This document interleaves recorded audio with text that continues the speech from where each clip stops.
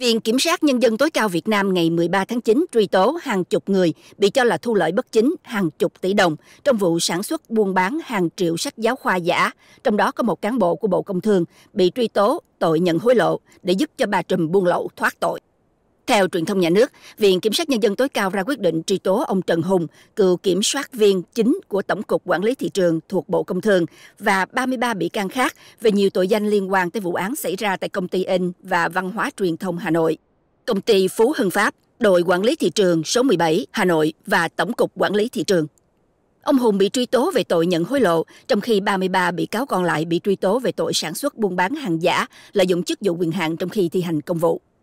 Bị can Cao Thị Minh Thuận, giám đốc công ty trách nhiệm hữu hạn sản xuất và thương mại Phú Hưng Phát, được cho là người chủ mưu và bị truy tố về tội sản xuất buôn bán hàng giả. Cáo trạng nói trong 6 tháng đầu năm ngoái, bà Thuận cùng đồng phạm tổ chức sản xuất và nhập kho gần 10 triệu quyển sách giáo khoa giả và các bị can này đã tổ chức tiêu thụ hơn 6,3 triệu quyển, thu lợi bất chính hơn 30 tỷ đồng sau khi trừ chiết khấu. Theo cáo trạng, ông Hùng đã nhận 300 triệu đồng từ bà Thuận.